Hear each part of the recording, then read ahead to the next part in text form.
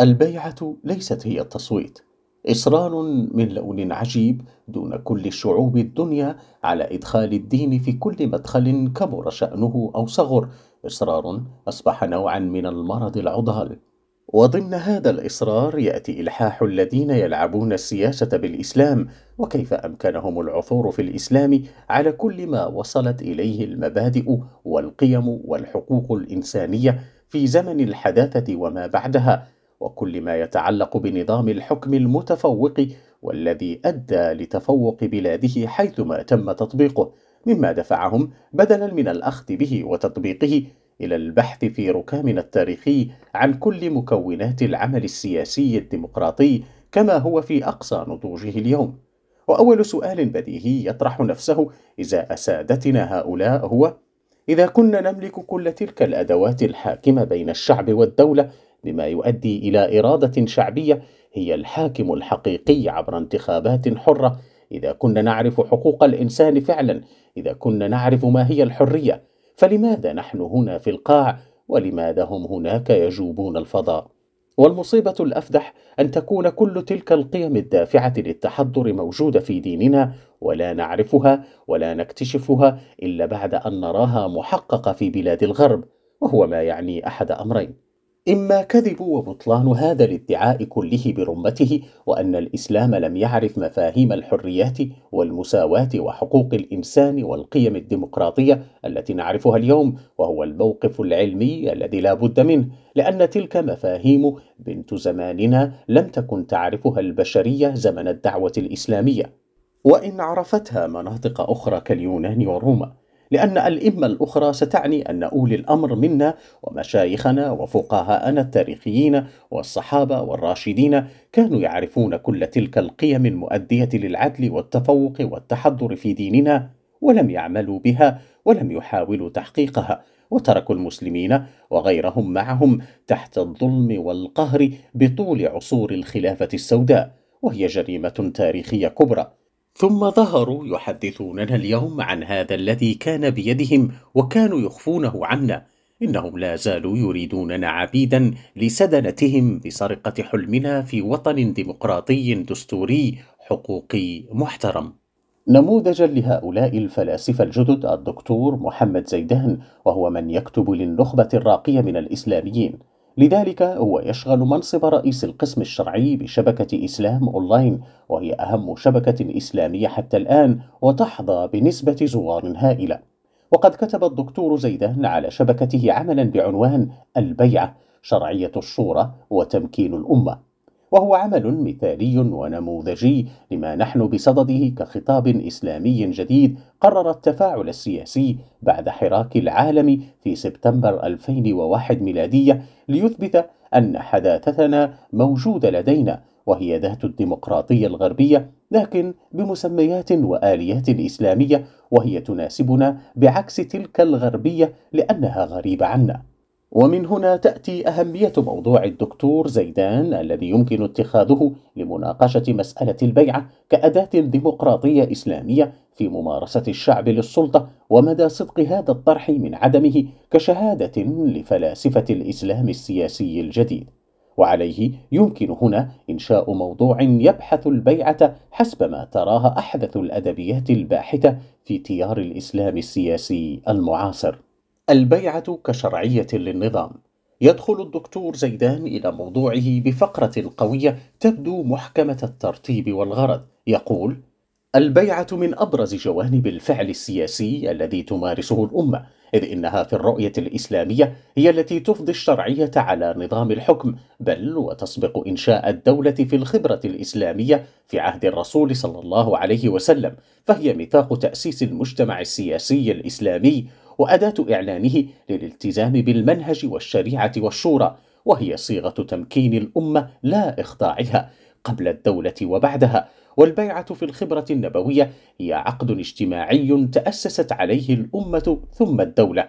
فالعقد الذي حدث مرتين عند العقبة كان عقدا حقيقيا تاريخيا تم فيه الاتفاق بين إرادات إنسانية حرة وأفكار واعية ناضجة من أجل تحقيق رسالة سامية في حين أن فكرة العقد الاجتماعي عند روسو مثلا في الفكر الغربي الحديث كانت تبريرا غيبيا لا نصيب له من الواقع لجأ أصحابها إليها لمحاربة سلطة الحاكم الفرد عبر أسطورة لم يشهد تاريخهم تحققها كما حدث في التاريخ الإسلامي انتهى ألا ترون هذا الكلام الكبير العظيم الفخيم؟ ألا تروننا قد سبقنا عقد روسو الاجتماعي في بيعتي العقبة بينما نحن في قاع الأمم تراتبا؟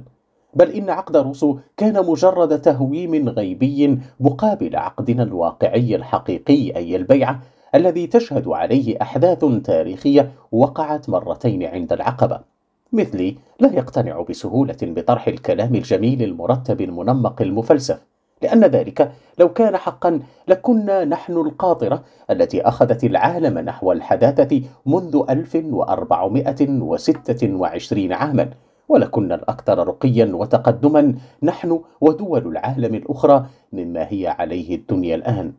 هنا لا بد أن نشك في الكتالوج المقدم إلينا من الدكتور زيدان فالكتالوج يقول شيئا وواقعنا يقول شيئا آخر. ومن ثم وجب البحث وراء ما طرح الدكتور ومدى صدقه من كذبه أو تدليسه. هنا وحتى نفهم ما قال سيادته سنقوم بتحليل وتفصيص ما قال واحدة واحدة في خطابه السياسي الإسلامي الجديد ولنبدأ بالواحدة الأولى. يقول سيادته إن البيعة من أبرز جوانب الفعل السياسي الذي تمارسه الأمة إذ إنها في الرؤية الإسلامية هي التي تضفي الشرعية على نظام الحكم. انتهى. وهكذا يكون أول الآية كفرا واستئصالا وتكفيرا وتحريضا بصيغة الجزم والتأكيد فهو يصدر حكما على كل الحكومات الإسلامية القائمة بالكفر ويسحب عنها الشرعية فكلها قامت على نظام الدولة الحديثة ولم يكن فيها كلها بيعة عدا بضع منها ألا ترونه يصوغها مشروطة بقطع تأكيدي إذ إنها مما يعني أن كل حكومات المسلمين المعاصرة غير مشروعة إذ إنها أي البيعة في الرؤية الإسلامية هي التي تضفي الشرعية على نظام الحكم. الغريب في شأن سادتنا هؤلاء من مفكري التيار الإسلامي أنهم يبنون أبنية محكمة قوية البناء لكن كلها على مستوى المخيلة وحدها وليس أبعد من ذلك. المشكلة أن هذا الكلام المتخيل يتم ترديده باستمرار حتى بات كما لو كان حقيقة وأن علينا التصديق ثم السمع والطاعة. لكن هل القواعد الدينية المفترض فيها السمو والبناء والتقدم يمكن أن تصبح مهمتها إثارة الفتن وتدمير الأوطان بالحركات الدينية المسلحة أو حتى الثورات الشعبية المتدينة؟ والأهم هو السؤال ما هو مصدر هذه القاعدة التي تبدو صحيحة واضحة دينيا مئة بالمئة في أي مكان هي موجودة بدين المسلمين إن عبارة تحريضية من هذا النوع إنما تحرض الشعوب بالدين للفتن لأن حكوماتها لم تقم على نظام البيعة رغم أنه إذا كان لابد من الثورة فهناك أسباب ومبررات أخرى كثيرة لا تدمر لكنها تبني. نحن بحاجة لمعرفة مدى صدق هذه العبارة التي بنى عليها موضوعه كله عن البيعة وبحاجة إلى النصوص الصريحة التي يمكن أن تنبثق عنها مثل هذه القاعدة الدينية الدستورية. إن التحريض على التمرد الديني غير المعارضة البناءة إن تحريض البسطاء وهم وقود كل الحركات الدينية عبر التاريخ يحولهم عن الولاء لوطنهم إلى خيانة الولاء الوطني لصالح ما يقال لهم إنه شرع السماء.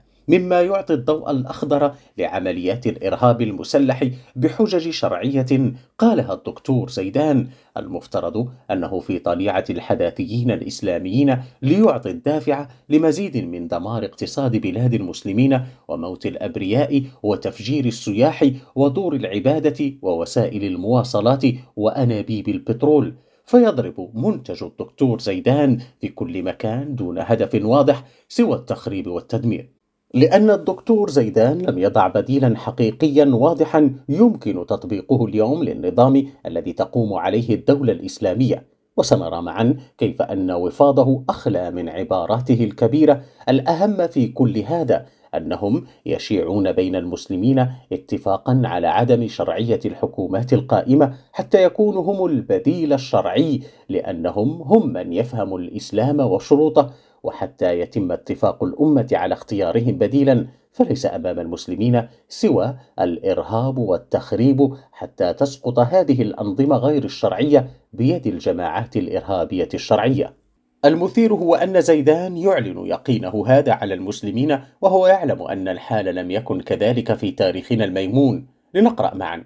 فصل في وجوب الإمامة وبيان طرقها من كتاب الإمامة وقتال البغاة في المجد الثالث من روضة الطالبين إذ يقول فصل وأما الطريق الثالث لتنصيب الإمام فإذا مات الإمام فتصدى للإمامة من جمع شرائطها من غير استخلاف ولا بيعة وقهر الناس بشوكته وجنوده انعقدت خلافته لينتظم شمل المسلمين. فإن لم يكن جامعا للشرائط بأن كان فاسقا أو جاهلا فوجهان أصحهما انعقادها لما ذكرنا وإن كان عاصيا بفعله.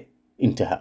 وبعد تولي المتغلب توضع له الأحاديث في الصحاح. عن حذيفة بن اليمان اسمع لحاكمك وإن ضرب ظهرك وأخذ مالك. انتهى. وكذلك عن الحسن البصري لا تعصوا أولي الأمر منكم فإن عدلوا فلهم الأجر وعليكم الشكر وإن بغوا فعليهم الوزر وعليكم الصبر فهو امتحان من الله يبتلي به من يشاء من عباده فعليكم أن تتقبلوا امتحان الله بالصبر والأنات لا بالثورة والغيظ. انتهى. وعن أحمد بن حنبل عن رواية عبدوس العطار من غلب على المسلمين بالسيف حتى صار خليفة وسمي أمير المؤمنين فلا يحل لأحد يؤمن بالله واليوم الآخر أن يبيت ولا يراه إماما بارا كان أم فاجرا. انتهى. ويقول ابن عبد ربه في العقد الفريد كتاب اللؤلؤ في السلطان السلطان زمام الأمور ونظام الحقوق وقوام الحدود والقطب الذي عليه مدار الدنيا وهو حمى الله في بلاده وظله الممدود على عباده به يمتنع حريمهم وينتصر مظلومهم وينقمع ظالمهم ويأمن خائفهم. قال الحكماء إمام عادل خير من مطر وابل وإمام غشوم خير من فتنة تدوم. ولما يزع الله بالسلطان أكثر مما يزع بالقرآن. انتهى. قال وهب بن منبه فيما أنزل على نبيه داود صلى الله عليه وسلم إني أنا الله مالك الملوك قلوب الملوك بيدي فمن كان لي على طاعة جعلت الملوك عليهم نعمة ومن كان لي على معصية جعلت الملوك عليهم نقمة. انتهى. وعن عبد الله بن عمر إذا كان الإمام عادلا فله الأجر وعليك الشكر. وإن كان جائرا فعليه الوزر وعليك الصبر. انتهى. ليوجز حذيفة بن اليمان نظرية الإسلام السياسي في الحكم فيقول عن النبي صلى الله عليه وسلم ما مشى قوم قط إلى سلطان الله في الأرض ليذلوه إلا أذلهم الله. انتهى. إنها بيعة المتغلب التي يتميز بتشريعها فقهنا الإسلامي عن غيره في تسليمه بالأمر منعا للفتنة وانشقاق الأمة. فما بال زيدان يحرض على الفتنة وانشقاق الأمة؟ خاصة وهو يعلم أن بيعة المتغلب كانت هي المتغلبة على تاريخ الخلافة الإسلامية بطولها وعرضها. فما باله لا يعترف بحكومات إسلامية ولو متغلبة منعا للفتن. أم تكون الفتن هنا مطلوبة في حالة وجود البديل الذي يزعم أنه الإسلامي الشرعي في حالة وجود زيدان ورفاقه دون فلسفة حكم متكاملة واضحة بأيديهم؟ وإذا كانت البيعة هي التي تعطي الشرعية للحاكم فماذا عن تأخر علي بن أبي طالب والهاشميين ومعظم جزيرة العرب عن بيعة أبي بكر؟ ومع ذلك فإن التيار السني يعتبر بيعة أبي بكر شرعية مئة بالمئة وماذا عن امتناع الوالي معاوية عن مبايعة الخليفة الرابع علي بن أبي طالب؟ وما هي الإجراءات الدستورية التي كان يلزم اتباعها وإجراؤها في ذلك الوقت لضمان عدم امتناع معاوية؟ وهل كان للبيعة مؤسسات تضمن تنفيذها؟ وهل تمكن الخليفة الشرعي علي بن أبي طالب الذي حكم بالبيعة من فرض سلطانه على الشام وعزل المتمرد معاوية؟ إن البيعة لم تحافظ على نظام حكمها الشرعي مع علي وأخذ غير الشرعي أي معاوية منصبه بل واجتاز الخلافة كلها دفعة واحدة ثم أخذ البيعة له ولابنه يزيد تحت تهديد الصحابة بالقتل ما قيمة البيعة هنا؟ وهل أفادت البيعة عثمان بما أضافته من شرعية على نظام حكمه؟ وهل ساعدته على إخضاع المتمردين من عرب مصر والصحابة وصانت حياته؟ وماذا وضع نظام البيعة من إجراءات لمثل هؤلاء؟ وكيف كان يمكن التصدي لهم شرعيا؟ وما هي الترتيبات والتنظيمات والإجراءات والمؤسسات التي يقترحها الدكتور زيدان لمواجهة مثل تلك المشاكل مستقبلا؟ وما هو حكمه على تلك الأحداث من منطق فكره السياسي الإسلامي المعاصر؟ أم إن الشخصيات التي عاصرت الفتنة الكبرى مقدسة ولا يجوز توجيه النقد إليها بما يفيدنا في تطوير نظم الحكم والمراقبة الشرعية وفق نظام البيعة؟ اللطيف في شأن سادتنا المفكرين الإسلاميين أنهم لا يلحظون ما هو شديد الوضوح وهو أن البيعة لم تكن يوما سببا لشرعية أحد وقد عبر الخليفة عثمان عن ذلك بوضوح عندما طالبه الثوار بالاعتزال فهو لم يعتد ببيعتهم ولا بسحبهم هذه البيعة لأنها لم تكن لا في العير ولا في النفي فقد كان رده التاريخي والله لا أخلع قميصا سربلنيه الله. انتهى. كانت هي إذا إرادة الله وليست إرادة الناس وبيعتهم. كان عثمان يعتقد أن تلك بيعة من الله وليست بيعة من الناس وماذا تكون بيعة الناس بجوار بيعة الله؟ ويبقى النظام الإسلامي غير قابل للتطوير والتحديث بسبب هذه القدسية التي لحقت زمن الصحابة وبيعاتهم على زيدان أن يختار وهو لا يستطيع حتى أن يختار ثم يقدم لنا درسا في العقد الاجتماعي الإسلامي بنظام البيعة الذي لم يتمكن من حماية نفسه يوما.